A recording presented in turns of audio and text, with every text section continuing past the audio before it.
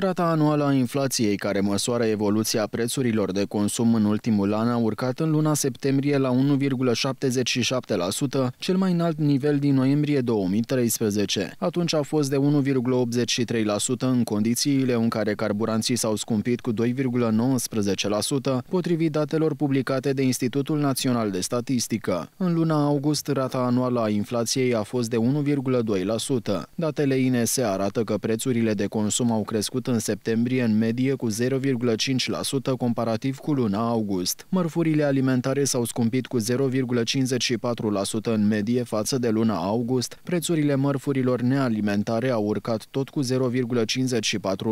iar prețurile serviciilor au crescut cu 0,32%.